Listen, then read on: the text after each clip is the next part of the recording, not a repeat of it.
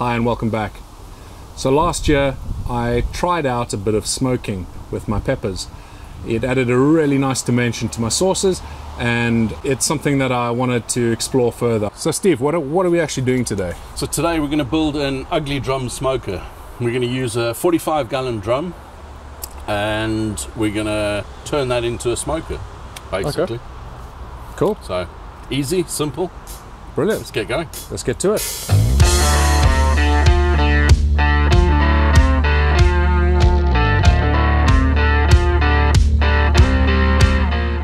First thing you're going to need is an oil drum.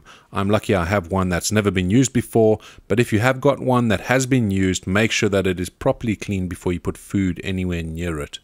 You'll need a lid, and if you can get hold of an old 57 centimeter Weber barbecue lid, it is the perfect size for the top of a barrel.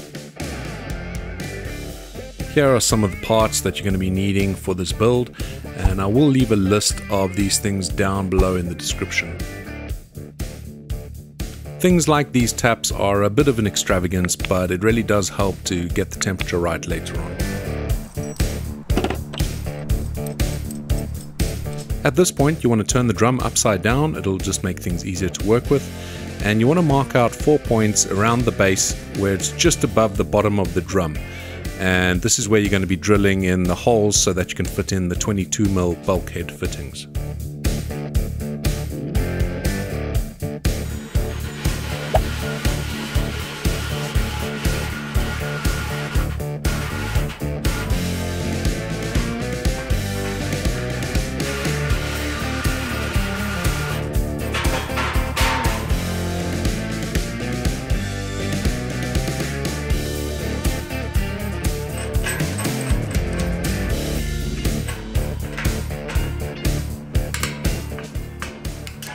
These copper pipes are what connect the bulkhead fittings we just put in with the taps and that allows us to control the airflow going into the base of the drum and that effectively is what controls how much heat is going to be generated. So make the length of the pipe something that's comfortable for you so that you're not having to bend over all the time to turn the taps on and off. You're going to need to give some support to these copper pipes so I'm using a small U-clamp and this just helps restrict the movement of the pipe so make sure that it doesn't break off or bend or anything like that.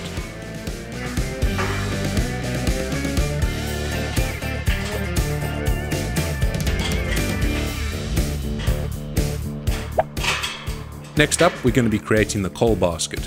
The first thing you need to do is create some standoffs using these long nuts and bolts and what that's going to do is allow a bit better airflow underneath the coal. The grid I'm using for the coal basket is a cheap one I got off Amazon. Make sure you get one that is meant for coal because the thin ones just won't last.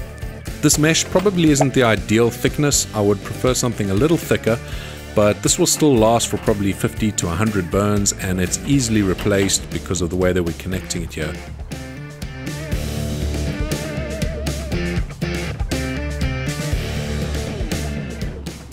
The last part is to drill the lid and fit four bulkhead fittings.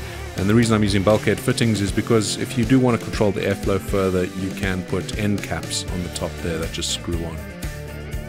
You can have multiple layers of grids. To support them, just use the same bolts that we used for the standoffs on the coal basket, as you can see here in my brother's smoker.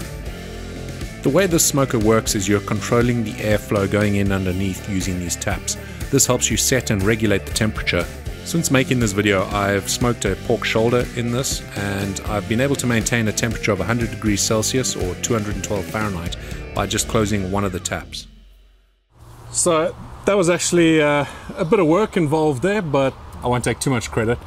Yeah. Let's see if it works. well, that's that's the that's the real test, right? Um, my harvests are almost ready, so almost time for us to do some smoking. I'll probably actually smoke some meat on there before I smoke some peppers, yeah. but well, I'd suggest just burning it through once or twice. Yeah. And then get it get it working with some meat.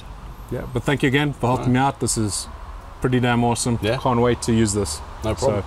So, until the next video, thank you so much for watching. I hope you enjoyed it. I hope you learned something and stay spicy.